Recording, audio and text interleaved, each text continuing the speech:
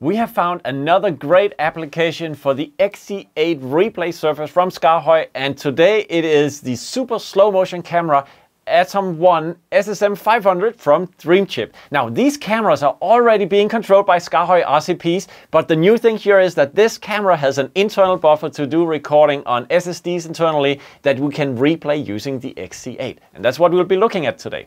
So let's get right into it and see what the XC8 has been configured to do in this case.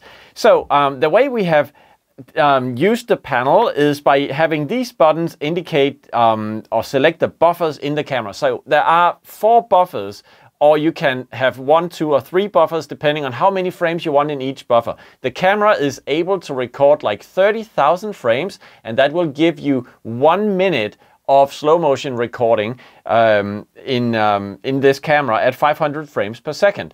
So um, with these knobs, you can select whether you want to have four buffers like right now, if you want to go all the way down to only a single buffer with 30,000 frames. In this case, when we choose um, four buffers, we have 7,500 frames in each buffer. So 15 seconds of slow motion recording at 500 frames per second.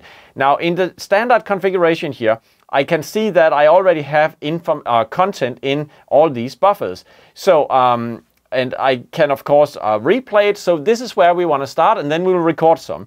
So the first thing I want to do is to uh, select buffer number one for instance and then replay the content inside of this one. So what you see here is my daughter doing gymnastics in the garden um, on an air track, uh, I think it's called. And um, really in the default case, if we uh, look at how this shot uh, would, would work, then if I stop and if I play it back, then uh, this is where I started my recordings. But what you typically want to do in a replay scenario is to fast forward to the point of interest. So let's say that this is the one. Okay, I press pause. No, wait, I go back a little bit like there. This would be my in point. I now press the in uh, and then I can uh, move forward quickly here until the out point and I want that to be like right there, okay? And I press out. So now I have in points and out points marked and you can do that on every single buffer. When you have a recording, you can set in and out points and then when you play back these uh, clips, then they are going to um, play from the um, uh, in point that you set. You can see the display shows the playback head while the um, the scene is happening. So of course I said we have multiple buffers. So if I go to buffer number two here and I press play, then what you see is a different trick. Now in this case, I already had the in and the out point set. So it is playing back from the locations I chose. There you go. And uh, we have nice garden gymnastics here. Um, I think my daughter would hope for this to be an Olympic discipline one day. I am just super proud as a dad and a little bit amazed how she manages to actually uh, stop gravity for a split second there.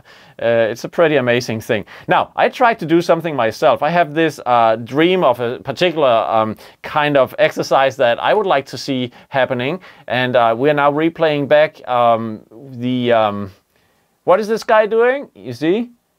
It's me. Oh, oh, no, no, no. No, he's throwing the cat. The cat is turning in the air. The cat lands on his feet. And there you go. So I always wondered, was it really true that a cat would, in fact, land on its feet? I think this is amazing. Look at this creature.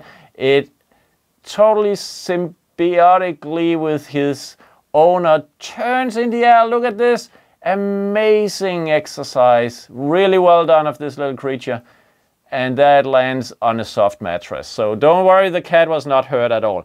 Now, um, we will now be looking at how we can create a replay case. So when we do want to, uh, uh, when we want to do the recording, then uh, what we first want to do is use buffer three, and I will clear that out by pressing button number seven. In which case, I'm just blanking out the buffer. So now I have 15 seconds of slow motion replay that starts when I hit button number three. So um, I did all the sports outside the studio for obvious reasons, so now I just want to pour water into a cup, but that looks pretty cool as well. So are you ready?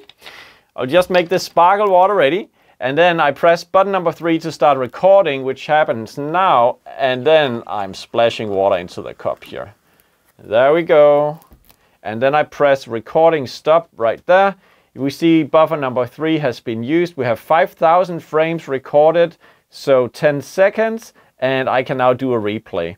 Now again, we have this situation that it's gonna take a few seconds. Actually, we have to wait for quite a long time before we get to the action. So I'm just using the jog or shuttle wheel here to move forward. And now I'm a little bit too far, so I'm probably gonna pause this and then I'm using the jog wheel to go back nicely to the point where the action actually starts. So we wanna find that, okay, there we have it, mark in point, I can now do just playback right away. But of course, we also have a T-bar. So if I want to start the playback by using the T-bar, I have the option of speeding it all the way up to uh, full speed right there. But I'm able to also, um, let's just um, do this like this. that we are pouring water into the cup. So you can see with the T-bar, I can adjust the playback speed. Even, I think this is even less than 50 frames per second playback. So, um, but that's what the T-bar does for you, of course. So, and the reason for having it on a surface like this one.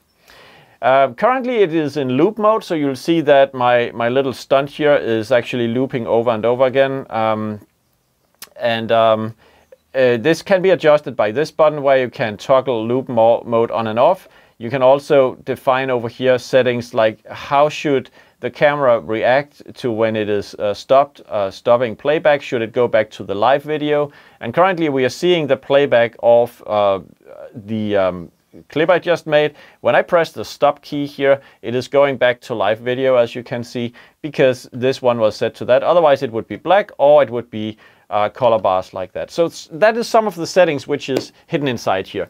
In many ways, simple, select your buffer, start recording, you can clear your buffer, you can playback, stop, pause, you can adjust shuttle, you can set the playback speed and so forth. All happens from playback inside the camera. Now, the camera has um, a feature which uh, Dreamchip will be able to explain, where it can be paired up with uh, slow-mo systems like uh, EVS and so forth. But for the most immediate and most obvious and um, really cool way to use this camera, you can um, do a lot by playing back from the internal buffers of the camera. And that's what the XC8 Surface has been uh, perfected uh, to do in this configuration.